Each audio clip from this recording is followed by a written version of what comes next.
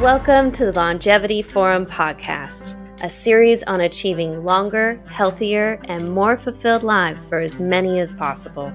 On this episode, Andrew J. Scott, co founder of the Longevity Forum, will be interviewing Oded Galor, economist at Brown University and founder of the Unified Growth Theory. I'll leave the rest to you, Andrew. Thank you, Laura, and thank you, Oded, for uh, agreeing to spend some time with us. It is a pleasure to be with you, Andrew. And congratulations on the success of your book, The Journey of Humanity. Uh, it's uh, a great read.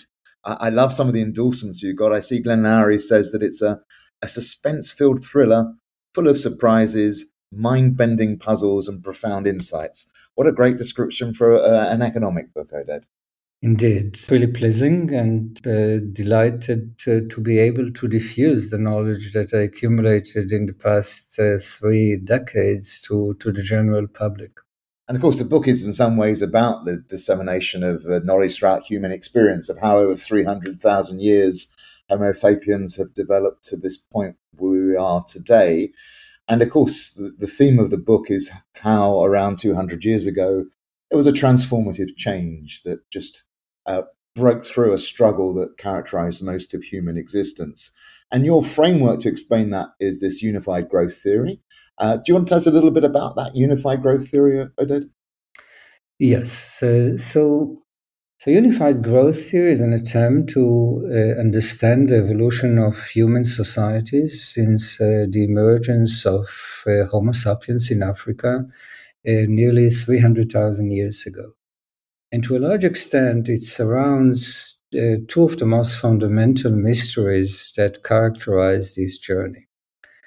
One mystery that I defined as the mystery of growth, namely what brought about the dramatic transformation in living standards in the past uh, few centuries after literally 300,000 years of stagnation namely what brought about this 14-fold increase in living standards in the past uh, 200 years and what uh, contributed to the um, doubling of life expectancy in the past two centuries. And the second mystery is the mystery of inequality, namely, what are the roots of this enormous inequality that exists in the wealth of nations? Why some countries are poor and others are rich, and why in the past two centuries we see an incredible divergence in the wealth of nations uh, across the globe. And unified growth theory is uh, operating under the, uh, the conviction that much of the inequality that we see across the globe today is originated in the distant past. And consequently, it is vital to understand the growth process in its entirety and the forces that operated in the distant past in order to shed light on the inequality that is prevalent in the world today and to shed light on the design of policies that can mitigate the level of inequality as we see it at the moment. One of the threads that runs through the book is this theory of, of history and accumulation that's long run impact. And you certainly suggest that you know development isn't through a sequence of one off lucky breaks, but much more systematic factors. So if we go back to this transformation that begins two, three hundred years ago, um, this extraordinary increase in uh, human uh, living standards, what for you were the key elements of that breakthrough um, that has led us to where we are today? All right. So in the book, uh, The Journey of Humanity, I try to decipher uh, the wheels of change, namely the forces that brought about ultimately the transition from stagnation to growth, and why these forces operated in a different pace across the globe. Namely, why some societies are taking off at the beginning of the 19th century, where others have continued to lag behind and consequently contribute to the emergence of this vast inequality across the globe. So when we think about the wheels of change, I identify three important wheels of change that govern the journey of humanity. The first one is the scale of the human population. The second one is the adaptation of the human population, namely the composition of the human population. And the third one is technological progress. And I argue that in the course of human history, these wheels of change are rotating, reinforcing one another, and ultimately bringing humanity into the verge of this takeoff that occurs nearly 200 years ago. So, when we think about the initial population, the initial human population in Africa 300,000 years ago, naturally, this is a modest population in terms of scale. But this population, nevertheless, is equipped with an incredible and powerful human brain. And this incredible and powerful human brain permits the population to advance technologies. And this advancement in technologies is feeding back into the scale of the population and into the composition of the population. The science that technological progress expands resources, permit more children to survive, permit more children to be born, and con- consequently contribute to population growth. But in addition, technological change is contributing to human adaptation. And the feedback from technological progress to population size and human adaptation, and back from human adaptation and technological size into technological progress, is accelerating technological progress in the course of human history. When we think about these 300,000 years of stagnation, this is a time period in which, to a large extent, human prosperity is unchanged. Technological progress is bringing a temporary increase in income per capita, but ultimately population size is adjusting and income per capita is reverting back to the previous equilibrium position. Nevertheless, this period of stagnation is associated at the same time with great dynamism in the context of technology, population, and human adaptation. And it is this great dynamism that at any point in time is not very powerful, but over 300,000 years it amounts to an incredible change that is ultimately bringing humanity into the phase of modern economic growth. So, why is it the case? Over the course of human history, technological progress becomes more and more rapid. But nevertheless, in an absolute scale, it is relatively slow. And as a result of it, it doesn't require an investment in human capital, an investment in education, so as to allow individuals to cope with this rapidly changing technological environment. But after 300,000 years of change, the technological environment is changing very rapidly. And due to this change in the technological environment, education becomes essential in permitting individuals to cope with this rapidly changing technological environment. And consequently, responsible parents, say in England at the beginning of the 19th century, realize that in order to equip their children to the new world of technological change, they need to educate their children. They start to invest in the education of their children, but naturally their resources are very limited. They need to economize on other elements in their budget. They cannot economize on their consumption because their consumption is very close to the subsistence level. So they for, they're forced to economize on the scale of the, of the children, on the number of children. And consequently, this investment in human capital is associated with dramatic decline in fertility rates. And this is very important because decline in fertility is freeing the growth process from the counterbalancing effect of population and permits economic growth to, uh, to be sustained in the very long run. So, what brought about the transition is the acceleration in technological progress, the rise in the demand in, in, for human capital beyond the critical point in which uh, in which human capital formation is being uh, is being uh, generated, and consequently, it brought about the decline in fertility and the transition to the modern economic growth. Thank you. And of course, you know, you talked about the unified nature of the growth theory, and as that explanation sort of emphasizes, there's the demographics interacting with also geography, interacting with institutions, interacting with technology, and together they then create this this this takeoff point. But do you want to say a little bit more about, you know, another very interesting key message in the book is how the past and the very distant past still shapes our present. What are some of the key channels for you through which any issues around growth and narrowing inequality across the globe is still influenced by that past. Right. So, so when I describe the wheels of change, naturally the operation of the wheels of change is not uh, is not taking place in a vacuum.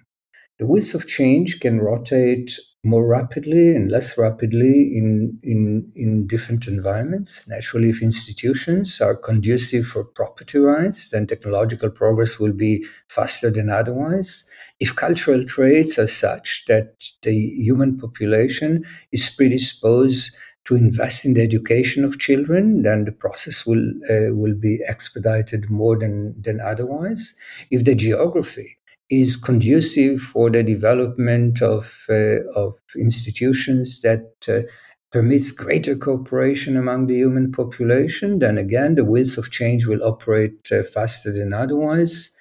And therefore, it is really important to understand what are the uh, the factors that operated in the course of human history that affected the rotation, the rotation in the wheels of change. So we know that this rotation is ultimately bringing about the transition from stagnation to growth. But at the same time, we realize that that the rotation is uh, is not at the same pace across the globe due to different initial conditions. What I show in the context of uh, the journey of humanity is that uh, that um, if we think about inequality today, inequality today, to a large extent, was determined by forces that operated in the distant past. Hundreds of years ago, thousands of years ago, and even tens of thousands of years ago. In the second part of the book, I start with inequality today and I march backward in human history, trying to peel different layers of influence that affected the contemporary inequality. I start with the role of colonialism, then with the fingerprints of institutions, the cultural factor, the long shadow of geography, and ultimately the migration of humans out of Africa 60 to 90,000 years ago and its impact on human diversity. And what I show is that each of these elements is important for the understanding of the inequality across the globe. Some elements are deeper than others, some elements are occurring much, uh, much earlier in the course of human history, but all elements at once are really important for the understanding of the pace of the rotation of the wheels of change and ultimate takeoff of humanity from stagnation to growth. So, to be more concrete about particular examples, so for instance, if we think about the geographical endowment, what we see in the course of human history is that in some places across planet Earth, farmers or, or, or individuals in general were induced by geographical conditions to be engaged in agricultural investment. They were induced to be engaged in the process of planting and ultimately harvesting. Now, this was critical because this process of planting today and harvesting six months from today implies that individuals were forced to learn how to delay gratification, how to plan for the future, and how to develop this future oriented mindset that is so critical for the modern economy. Namely, when we think about today's world, what contributes to economic growth is education that requires future oriented mindset, saving behavior that require future oriented mindset, technological adoption and development that requires future oriented mindset. Namely, future oriented mindset is perhaps the most important single cultural characteristics that affect the growth process. And it appears that the geographical environment affected future oriented mindset differentially across the globe. If we look at different regions of the world, within continent and across continents, we see greater variation in the agricultural return or the return to agricultural investment. And consequently, say, when we look at different regions of Africa, we see that some societies in Africa were induced to be engaged in agricultural investment, others were not. And consequently, those that were induced to engage in agricultural investment are more future oriented than otherwise. And this ultimately led into uh, some divergence across society in the course of human history. This is one example how geography affected the emergence of cultural traits in a differential way and affected the rotation of the wheels of change in a differential way and contributed to the divergence as we see it across the globe today. So I want to come back later on to that future orientation, which of course yeah, I think fits in with the lifespan and longevity too. But let's move a little bit on from looking backwards to looking forward. So you know, your book is about going from stagnation to growth. Do you think that growth process will carry on looking forward? Will there be perhaps other uh, nonlinear thresholds that may lead to a major change? What do you think that the future will bring for us? Right. So this is a, this is an interesting and important question. And uh, when we think about the march of humanity in the past three hundred thousand years, uh, it appears to a large extent that the march of humanity, at least thus far, has been unstoppable in the sense that when humanity hit uh, an enormous hurdle, human ingenuity was there in time to allow humanity to surpass this hurdle and to continue its march. And ultimately, the grand arc of human development was not affected by any of these elements. You can think about it in the course of, say, the Neolithic Revolution, 12,000 years ago. Human societies before the Neolithic Revolution expanded up to the point in which there were no geographical niches that were free for, uh, for hunting and gathering any longer. As a result of it, hunter gatherer groups started to bang into one another, conflict emerged, and there was a need to, for human ingenuity to rescue humanity from the potential catastrophe that could have emerged otherwise. And human ingenuity permitted the development of agriculture, namely the domestications of plants, the domestication of animals, and ultimately the transition into an era in which from each acre of land we can extract sufficient resources to support 100 times more people that we could have supported from the same acre of land under hunter gathering uh, under the hunter and gathering regime now, this human ingenuity was there throughout, uh, uh, throughout human history. But nevertheless, when we think about uh, the future, uh, it appears that at the moment humanity is in fact facing perhaps the greatest challenge uh, of all, namely climate change.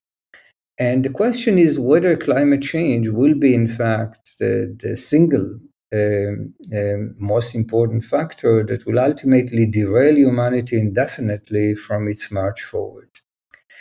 Now, in this respect, I mean, the journey of humanity, my book is hopeful about the ability of human ingenuity again to permit us uh, to rescue ourselves from, uh, from this catastrophe.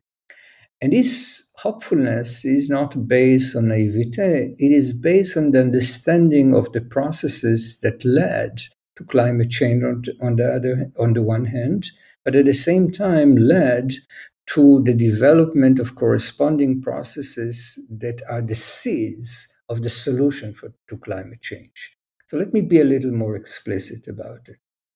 When we think about climate change, it's coming in the aftermath of what I defined as technological acceleration that brought about the Industrial Revolution, industrial pollution, and the current trend in climate change. But the same acceleration in technological progress, as I said earlier, brought about three additional important forces. Brought about investment in education, it brought about a rapid decline in fertility, and it brought about an incredible power of innovations. And why is it so critical? It is critical because it is the decline in fertility and potentially the decline in the population of the world as a whole that could not reverse, but mitigate the current trend of climate change. So, as we know, very recently, India even dropped in terms of fertility below replacement level. And if these trends maintain themselves, and if we basically conduct policies such as gender equality, higher return to human capital, greater diffusion of contraceptive methods, then this decline in fertility will be more pronounced than otherwise, then we can reduce a, a, an important element that contributes to uh, the current trend of climate change. And this can perhaps permit humanity to have three or four decades that will be necessary in order to develop revolutionary technologies that we cannot envision at the moment that will ultimately permit us to, Uh, to reverse the current trend of climate change. Again, it is human ingenuity, along with the decline in fertility and the rise in, the, in, in human capital formation, that will permit us to first adopt environmentally friendly technologies enforce regulation standards across the globe, be aware of the damage that we create, but at the same time, permit scientists to have three or four decades to take human ingenuity into the next stage and to resolve and reverse part of what we see today in the context of climate change. And you know, obviously, as you just said, you're the optimism uh, that comes from the power of human ingenuity, I think, is a theme that really runs through the book and one that I, I like greatly.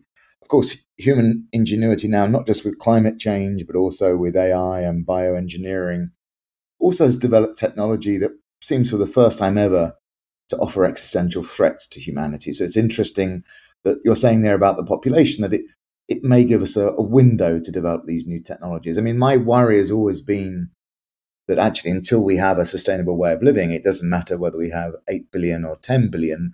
Uh, that's just the speed at which you reach the point where things can no longer be improved. Um, but the pace of change, the pace of technology, is it going too fast compared to our human ingenuity to resolve the problem? Is the demographic population going to be uh, full, going to be working fast enough to help us?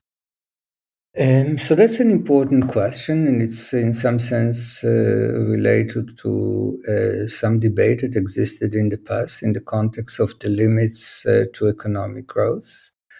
Uh, are we advancing too fast? I mean, can we adapt to this uh, rapid change in technological change? Can the environment uh, tolerate us much longer?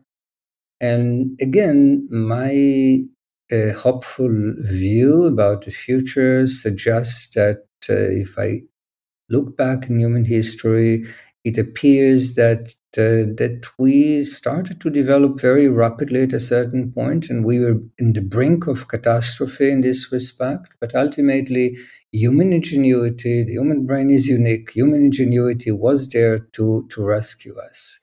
I'm not overly concerned about uh, the, the pace of technological progress and uh, and I think that uh, again, the, um, given the fact that uh, fertility is declining and we invest much more in our children than we invested in the past, I think that part of what uh, we will invest in is human adaptability. And I think that uh, we will see greater ability of the next generations to adapt to this rapidly changing technological environment. And as a result of it, we'll reach a new equilibrium in which technology is advancing very rapidly, but at the same time, given the scale of the human population, given the resources that are spent on each individual, adaptation will permit uh, humanity to sustain or to, to coexist with uh, this rapidly changing technological environment. On to some of the demographic issues, because of course this is close to the heart of the longevity forum. And, you know, as you said, your book looks at changes in the scale of the human population, the composition of the human population, and the interplay with technological progress. And for me, all three of those come together with longevity. We know, as you just said, we're in many countries going to see falling populations. We're seeing fewer young and a lot more old. Uh, and then we need technology to help us to age better, uh, to sort of make the most of that that longer time. And I think for me that's a crucial challenge that we face. But fertility rates are now below the 2.1 number that guarantees sustainable populations. How long do you think that process will continue? Do you think we have reached a new moment of human history where we will see permanently shrinking populations and um, a, a fertility rate below two? Yeah, so this is uh, potentially an important concern. Naturally, uh, fertility is declining uh, below uh, replacement in many corners of the world. And some are concerned with that the decline in fertility will not permit us to sustain the same rate of technological progress. Some people predict that perhaps technological progress will come to a halt and uh, and uh, perhaps humanity um, will uh, start to revert back to uh, to previous uh, conditions. But I do not share this viewpoint, and uh, I do not share this viewpoint for the following reason. When we think about the wheels of change, as I articulated earlier, I'm referring to the interaction between the size of the population, the composition of the population, and technological progress. Namely, it is not only the scale of the population that matters, and the scale perhaps will in fact be smaller than otherwise, but the composition or the education or the quality of the human population. So the fact that population will decline would permit parents and societies to invest much more in each particular individual. But when we think about the forces that contribute to technological progress, it appears that the quality of the population, or the elasticity of technological progress with respect to quality, is much greater than with respect to quantity. And in this respect, the decline in fertility rates and potentially the decline in world population, in my viewpoint, is just very good news to the world. We will have less polluting people, the pressure on the environment will be smaller than otherwise, but at the same time, we will be able to cherish and invest in each individual more than otherwise, and ultimately, the effective number of scientists or the effective number of innovators will be much greater than before. In the sense that we're able to uh, to sustain greater rate of technological progress despite the fact that uh, the scale of the human population is smaller than otherwise. And let me build on that because that I think starts to move us towards mm, the longevity perspective. So it struck me in reading your book, you know, the Malthusian story of you know a larger population trapped into uh, uh, low living standards and uh, disease and starvation. And there's sort of a modern version of that today, which is this rising number of older people which is also painted in sort of bleak terms. There's too many old, old people get ill, they're not productive. Whereas it occurs to me that you know your your shift that you're referring to with children, where we went from quantity to quality, also needs to be extended to other stages of life. So we now need to invest much more in improving health and education across the life course. For most of human history, as your book documents, the young haven't had a chance to become old. But now it's almost you know, a guarantee that the young will live to become very old by human standards. What changes do you think that needs to bring about? And how do you think societies will adjust to what is a major change in the human life course? Indeed. So, so as you suggest correctly, we see this dramatic transformation in life expectancy in the past uh, 150 years, we see that life expectancy nearly double within this time time frame in the world as a whole, and this had great implications uh, that. Uh, uh, to a large extent, were very beneficial for the human society. So naturally, the prolongation of life, increasing the increased uh, the planning horizon of each individual, and as a result of it, made it much more profitable to individuals to invest in education, to invest in themselves, with the understanding that the duration of the period from, from which they can reap the benefit of this investment is larger than otherwise. But as you suggested at the same time, this implied that perhaps uh, during the, the change, before we reach a steady state, if the population continue to decline, say, at the same pace, and we will see a gradual increase in the dependency ratio, in the sense that older people are living longer than otherwise, and the number of young individuals or people in the labor force that are supporting them is proportionately smaller. And the question is whether this is uh, detrimental for productivity, whether this is alarming in terms of the sustainability of the growth process and the sustainability of the current trend of uh, fertility decline. And again, my view here is perhaps less pessimistic than the, than the typical view. And it is based precisely on the same mechanism, namely on the quality quantity trade off. If I think about, say, China and the one child policy, and I think about the children that were born in the post one child policy, on average, these children are significantly more educated, are significantly more productive than their parents. It's true that perhaps one child will have to support two parents, so the dependency ratio is larger than what existed before. But at the same time, the earning capacity of this child is perhaps more than twice the earning capacity of the parents. And in this respect, technically the dependency ratio is higher than before. But if we think about quality adjusted dependency ratio, I do not see the, um, the, the issue in the sense that I do think that, in fact, the labor force will be so much more productive than the labor force at the time of the parental generation that, in fact, despite the increase in the dependency ratio, the, lab- the people in the labor force will be able to support the aging population without great difficulties. It implies that certain resources will have to be allocated to this endeavor, but nevertheless, the society will be rich enough uh, to afford it and, uh, and perhaps even to have a surplus beyond that. I, I, hope so too. And I also think, you know, as you said that there's the Journal of Humanity is about uh, investing in the quality of the health and skills of the young, but that also presumably cascades through society as well. The young then become the old, but also we may need to be looking to invest in later life much more as well, uh, which of course for most of humanity has not been uh, a sensible thing to do because so few reach that stage.